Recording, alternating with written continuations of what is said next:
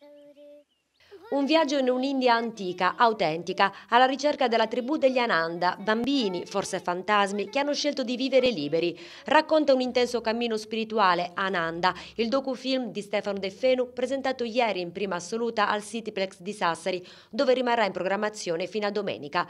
Per la prima volta alla regia, l'attore e sceneggiatore sassarese, classe 1978, ha curato la direzione della fotografia e il montaggio e ha scritto la sceneggiatura insieme a Bonifacio Angius e Pier Obino, l'amico con cui ha intrapreso il viaggio nel 2011 dalla grande capacità di farsi aiutare da tutti. Lungo il tragitto che porta a visitare diversi villaggi e a conoscerne culture e leggende si segue un percorso parallelo all'interno dell'animo di Defenu, la cui voce narrante esprime disillusione ma anche la voglia di andare avanti perché quel che conta è ciò che si scopre mentre si cerca.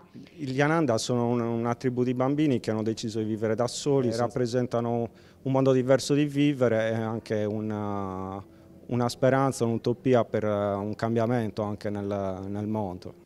C'è un percorso all'interno della voragine del dolore, quello che scorre nelle vene quando si perde il sangue del proprio sangue, l'elaborazione del lutto che trova pace nella capacità dell'assenza di farsi presenza. L'intensità del docufilm è esaltata dalla colonna sonora composta da Luigi Frassetto e Francesco Simula, presenti ieri durante il saluto del regista alla sua città, accanto a Domenico Montigi e Bonifacio Angius, che con il Monello Film cura la distribuzione della pellicola.